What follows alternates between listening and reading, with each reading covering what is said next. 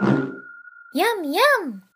Floyd here with a quick look at using the texture switch node on a single mesh item in Modo. In this example, I have a single mesh item that contains an array of cubes. I also have four different procedural textures ready to be applied in the schematic. For this setup, start by adding the base material item to the schematic, then add a texture switch node.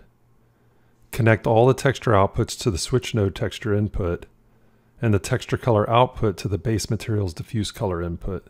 Add a variation texture to the schematic, Set its variation source to mesh part.